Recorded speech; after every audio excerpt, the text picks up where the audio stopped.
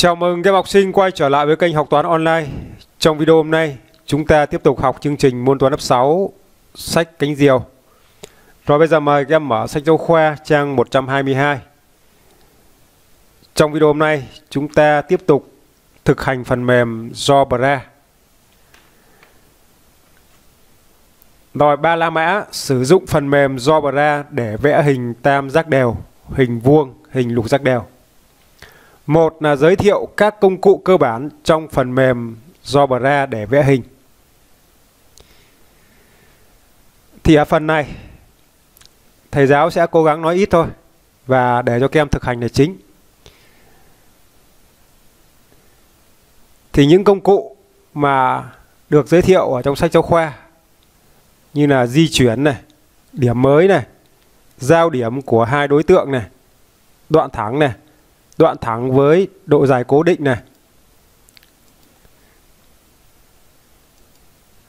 Trung điểm hoặc tâm này, đa giác đều, đường vuông góc, đường thẳng qua hai điểm, đường tròn khi biết tâm và một điểm trên đường tròn, đường thẳng song song. Thì để tìm hiểu cụ thể những công cụ này, mời các em chúng ta cùng thực hành trực tiếp ở trên trên phần mềm nha. Rồi bây giờ mời các em chúng ta cùng khởi động phần mềm lên. Rồi ở đây chúng ta khởi động phần mềm lên. Các em có thể lăn chuột này, lăn chuột cho cái khu vực làm việc của chúng ta nó phù hợp. Nó phù hợp thì các em sẽ dừng lại. Trước hết thầy giáo giới thiệu với các em là công cụ di chuyển. Có hình mũi tên đây, công cụ di chuyển. Công cụ này để chúng ta di chuyển đối tượng đến một vị trí mà chúng ta cho là phù hợp. Ví dụ thầy giáo vẽ một vẽ một hình đa giác đều. Được chưa? Các em bấm vào cái biểu tượng hình tam giác này.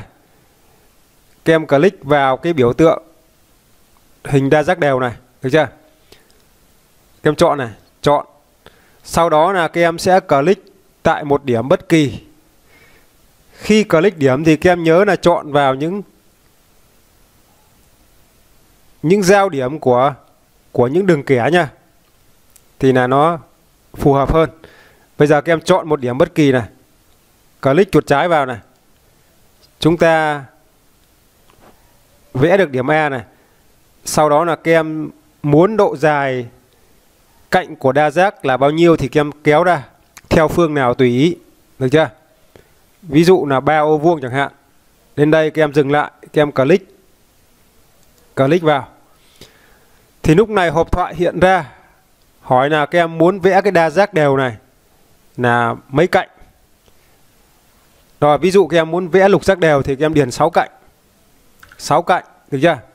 Bấm OK. Lúc này các em lăn chuột lên. Lăn chuột, lăn chuột. Rồi lúc này chúng ta đã có một hình lục giác đều. Phần mềm tự động đặt tên cho hình lục giác đều này là A, B, C, D, E, F. Được chưa? Bây giờ chúng ta muốn di chuyển cái hình lục giác đều này đến một vị trí khác. Thì đây chính là chức năng của công cụ di chuyển. Các em click vào cái cái công cụ này. Nó có biểu tượng là mũi tên. Ở đây người ta viết luôn cho chúng ta là công cụ di chuyển, được chưa? Khi click vào rồi, các em sẽ chọn đối tượng. Các em click lên đối tượng mà các em muốn di chuyển. Các em giữ này, giữ đối tượng này. Được chưa? Di chuyển đến một vị trí nào đó mà các em muốn. Các em có thể đặt tại vị trí này, vị trí này. Các em cảm thấy phù hợp thì các em đặt, được chưa? Đặt. Rồi, đấy chính là chức năng của công cụ di chuyển. Tiếp theo là công cụ điểm mới. Điểm mới đây. Thì các em chọn vào công cụ này. Click vào. Rồi ở đây nó sổ ra một loạt các công cụ. Các em chọn là điểm mới. Có ký hiệu là một dấu chấm và chữ A. Click vào công cụ này. Các em muốn tạo điểm mới tại vị trí nào, thì các em click vào vị trí đó. Như vậy là chúng ta đã tạo được điểm mới là là G. Được chưa? Nếu các em click lần thứ hai thì nó sẽ tạo cho chúng ta điểm mới thứ hai là H. Ở đây phần mềm đã dùng các điểm là A, B, C, D, E, F rồi. Như vậy điểm tiếp theo theo thứ tự của bảng chữ cái sẽ là G và H. Được chưa?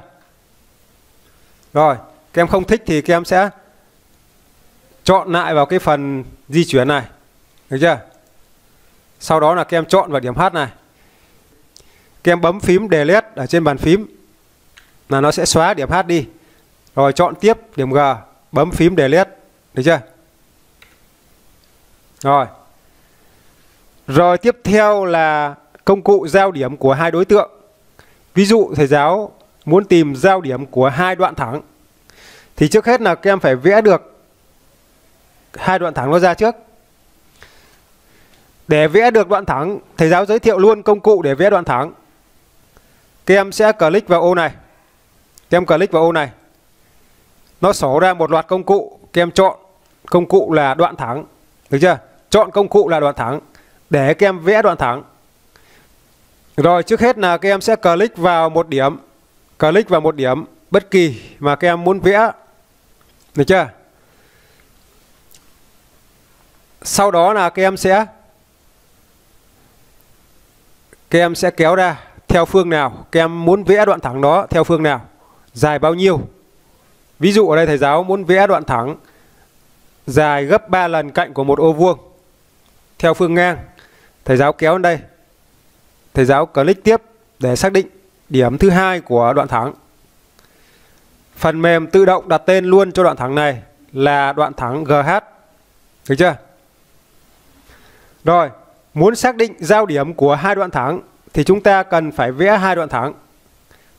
Ở đây thầy giáo vẽ đoạn thẳng thứ hai bằng cách làm tương tự thầy giáo vẽ đoạn thẳng thứ hai. Click vào một điểm bất kỳ này. Rồi, kéo này. Kéo về phương này chẳng hạn. Click tiếp này. Như vậy là chúng ta vừa vẽ được hai đoạn thẳng. Được chưa? GH EZ GH và EZ Bây giờ thầy giáo muốn xác định giao điểm của hai đoạn thẳng này thì chúng ta sẽ làm quen với công cụ là giao điểm của hai đối tượng. Các em nhớ nhá, mỗi cái mỗi cái hình mà chúng ta vẽ ở trên cái trên cái khu vực làm việc này thì gọi là một đối tượng. Hình lục giác đều là một đối tượng, đường thẳng là một đối tượng. Rồi để xác định được giao điểm của hai đối tượng thì các em sẽ chọn vào đây. Chọn vào cái ô thứ hai này. Và các em chọn vào giao điểm của hai đối tượng này. Giao điểm của hai đối tượng, được chưa? Sau đó này, các em chọn đối tượng thứ nhất là đường thẳng thứ nhất này. Chọn tiếp đối tượng thứ hai là là đường thẳng thứ hai này.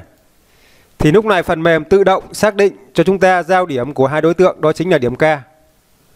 Được chưa? Đó chính là điểm K. Rồi. Chúng ta đã làm quen công cụ giao điểm của hai đối tượng, công cụ đoạn thẳng rồi. Tiếp theo là công cụ đoạn thẳng với độ dài cố định. Đoạn thẳng với độ dài cố định, tức là chúng ta muốn vẽ một đoạn thẳng có độ dài gấp 3 lần cạnh của một ô vuông thì chúng ta sẽ chọn công cụ nào? Chúng ta sẽ chọn công cụ nào? Kem click vào ô thứ ba trên thanh công cụ này. Rồi các em chọn này. Đoạn thẳng với độ dài cố định. Được chưa? Click vào đây. Trước hết là các em xác định điểm đầu tiên của đoạn thẳng. Click vào. Hộp thoại hiện ra hỏi là các em muốn vẽ đoạn thẳng với độ dài cố định là bao nhiêu. Thì các em có thể vẽ là, các em có thể viết là 3 hoặc 4 thì đây phần mềm mặc định cho chúng ta là độ dài của một cạnh ô vuông, nó chính là một đơn vị. Ví dụ ở đây thầy giáo viết số 3 thì có nghĩa là đoạn thẳng này dài gấp 3 lần cạnh của một ô vuông. Được chưa? 3. Ok. Thì lúc này, phần mềm sẽ vẽ cho chúng ta đoạn thẳng NM có độ dài gấp 3 lần, gấp 3 lần cạnh của một ô vuông. Được chưa? Rồi tiếp theo là công cụ trung điểm hoặc tâm. trung điểm hoặc tâm. Trung điểm hoặc tâm là công cụ nào? Ví dụ, thầy giáo muốn xác định trung điểm của đoạn thẳng NM này. Trung điểm của đoạn thẳng NM này thì chúng ta sẽ chọn công cụ trung điểm hoặc tâm. Trung điểm hoặc tâm nó nằm ở công cụ nào? 1 2 3 4. Để thầy giáo tìm xem trung điểm hoặc tâm nó nằm ở công cụ nào. À, nó nằm ở ô thứ hai này, ô thứ nhất này, ô thứ hai. Kem click vào ô thứ hai. Sau đó là kem kéo xuống, chọn trung điểm hoặc tâm, được chưa? Click vào đây. Bây giờ các em muốn xác định trung điểm của đoạn thẳng NM thì các em sẽ click vào cái vị trí bất kỳ trên đoạn thẳng NM này. Nó tự động xác định cho chúng ta trung điểm của đoạn thẳng NM chính là điểm N. Được chưa? Em thấy chính xác chưa? Rồi. Bây giờ các em muốn, các em không muốn xác định trung điểm của đoạn thẳng NM mà các em muốn vừa vẽ vừa vẽ một đoạn thẳng, vừa xác định luôn trung điểm của đoạn thẳng đó, thì trước hết là các em sẽ chọn công cụ, được chưa? Chọn công cụ trung điểm hoặc tâm. Đây, các em chọn công cụ trung điểm hoặc tâm tem click một vị trí bất kỳ. Sau đó là các em click điểm thứ hai của đoạn thẳng. Thì lập tức lập tức là phần mềm sẽ chọn cho chúng ta cái điểm ở giữa luôn. Được chưa? Chọn cho chúng ta điểm ở giữa luôn. Muốn nối ô với P lại với nhau thì chúng ta chọn công cụ nè Công cụ đoạn thẳng đây, được chưa? Chọn ô này, nối với P này. Được chưa? Đa giác đều. Công cụ đa giác đều này. Công cụ đa giác đều, các em chọn vào 1 2 3 4 5. Ô thứ 5 ở trên thanh công cụ. Em click vào và các em chọn cái biểu tượng đa giác đều này. Thầy giáo vừa giới thiệu ở phần đầu của video rồi. Chọn đa giác đều. Các em click vào một điểm bất kỳ này. Click vào một điểm bất kỳ. Được chưa? Bây giờ chúng ta muốn vẽ tam giác đều chẳng hạn. Thì các em sẽ kéo độ dài của cạnh tam giác mà các em muốn vẽ. Ví dụ muốn vẽ tam giác này có độ dài cạnh là bao nhiêu? Cạnh là 1 này, 2, 3, được chưa? Các em click vào đây. Lúc này phần mềm hỏi chúng ta là bạn muốn vẽ đa giác đều này có mấy cạnh? Các em vẽ tam giác thì các em điền số 3, tức là ba cạnh. Bấm OK.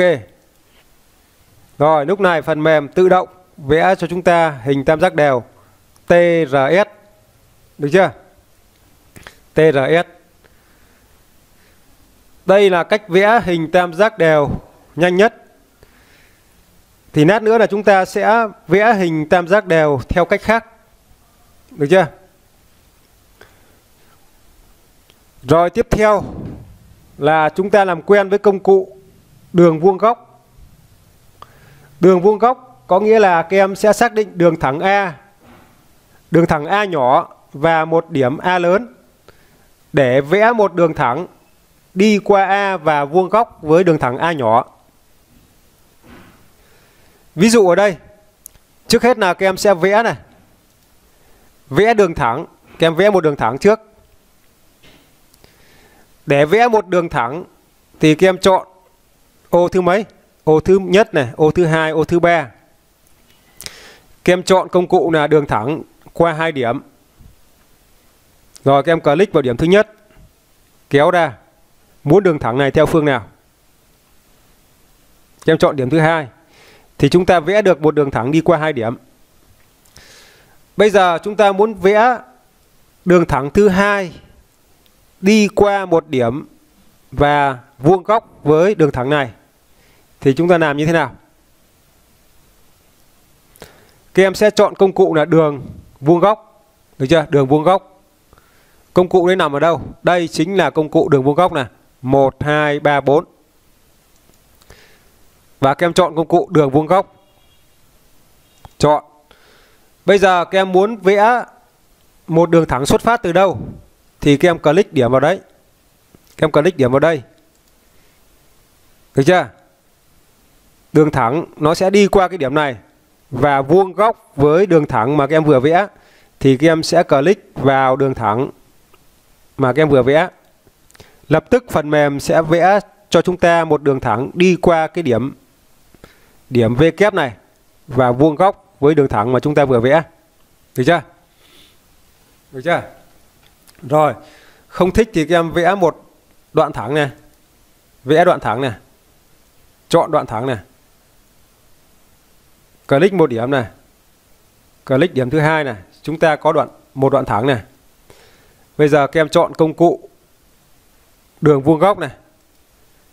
Các em click một điểm vào đây. Sau đó click vào đoạn thẳng này. Thì chúng ta sẽ có một đường thẳng.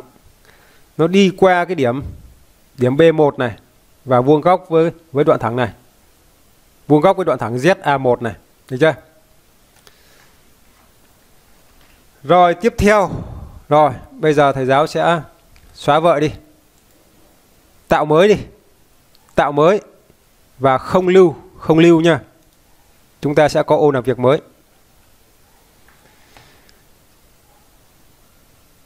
Bây giờ các em sẽ làm quen với công cụ là đường thẳng đi qua hai điểm. Rồi đường thẳng đi qua hai điểm mà chúng ta vừa làm quen xong rồi, đúng không? 1 2 3, ô thứ ba. Chọn đường thẳng qua hai điểm. Connect vào điểm thứ nhất. Rồi các em muốn xoay cái đường thẳng này theo hướng nào tùy. Connect vào điểm thứ hai. Chúng ta có đường thẳng đi qua hai điểm. Đường tròn Công cụ đường tròn khi biết tâm và một điểm trên đường tròn. Khi biết tâm và một điểm trên đường tròn tức là chúng ta biết bán kính của đường tròn đó. Các em chọn ô 1, 2, 3, 4, 5, 6. Chọn ô thứ 6 và chọn công cụ đường tròn khi biết tâm và một điểm trên đường tròn. Được chưa? Chọn. Sau đó là các em sẽ connect vào điểm thứ nhất. Connect vào điểm thứ nhất nha. Sau đó là các em di chuột ra bên ngoài. Thích cái đường tròn này nó rộng bao nhiêu thì tùy, nhá. Rồi các em muốn điểm thứ hai, nó nằm ở đâu thì các em sẽ để vị trí chuột ở đấy.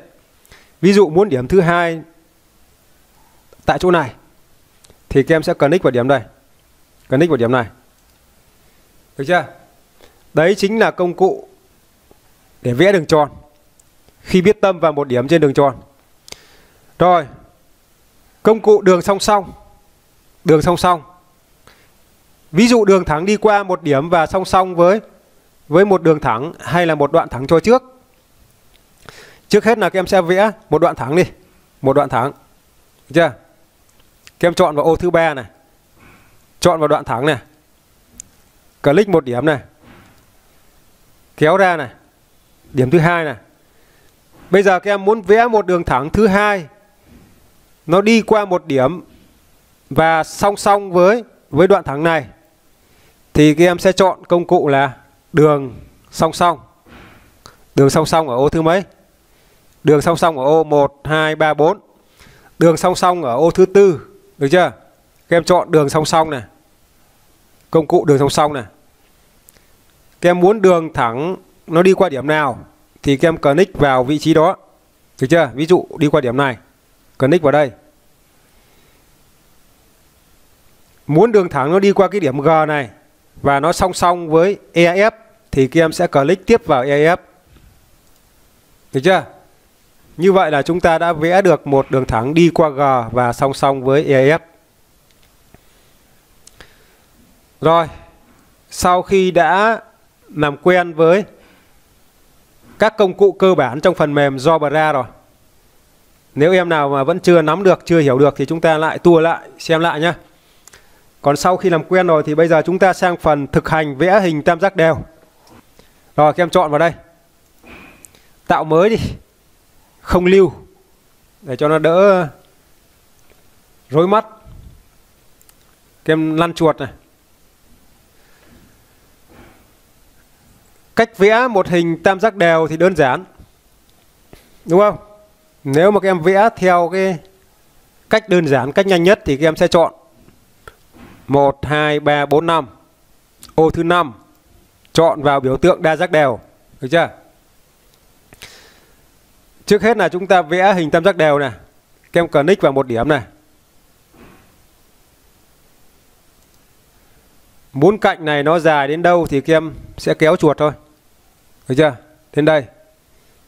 Click vào đây. Phần mềm hỏi là bạn muốn vẽ đa giác đều này có mấy cạnh? Các em vẽ tam giác thì tất nhiên là ba cạnh. Được chưa? Bấm OK. Bấm OK. Rồi thì lập tức là phần mềm đã vẽ cho chúng ta một hình tam giác đều. Các em bấm vào công cụ di chuyển này, chọn đối tượng này, giữ chuột này, các em giữ chuột này, muốn di chuyển cái hình tam giác này đến khu vực nào để các em di chuyển thôi. Được chưa? Hoặc là các em muốn vẽ hình hình vuông. Hình vuông là tứ giác đều đúng không? Các em chọn vào đâu? Chọn vào đây. Biểu tượng đa giác, đa giác đều nhá. Đa giác đều. Chọn điểm thứ nhất. Kéo ra để vẽ cạnh. 1 2 3 4. Chúng ta vẽ độ dài cạnh là 4 đi. 4 cm đây, các em chọn vào đây. Rồi, đa giác đều. Hỏi chúng ta muốn vẽ mấy cạnh? Các em chọn là 4, bấm OK. Chọn vào công cụ di chuyển. Giữ chuột, giữ giữ chuột trái nha, kéo xuống. Như vậy là chúng ta đã vẽ được vẽ được hình vuông. Còn vẽ hình lục giác đều thì như thế nào? Chọn đối tượng. Chọn đa giác đều.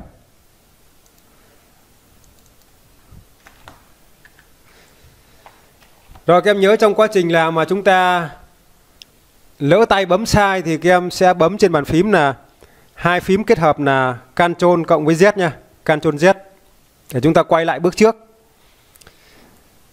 Rồi các em chọn này.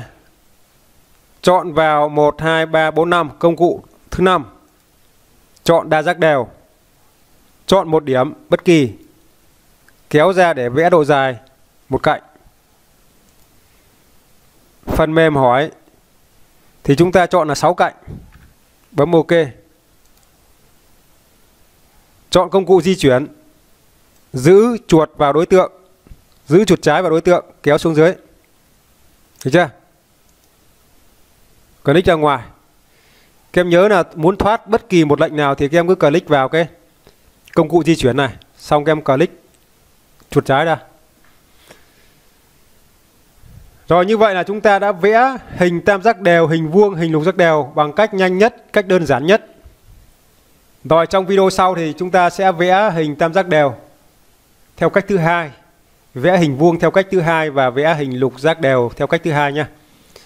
Rồi như vậy là video hôm nay xin được kết thúc ở đây. Cảm ơn các em đã dành thời gian để theo dõi video. Đừng quên ủng hộ kênh Học Toán Online bằng cách nhấn vào nút đăng ký và bấm chuông để nhận được những video mới nhất. Rồi xin chào và hẹn gặp lại các em trong các video kế tiếp. Chúc em học tốt.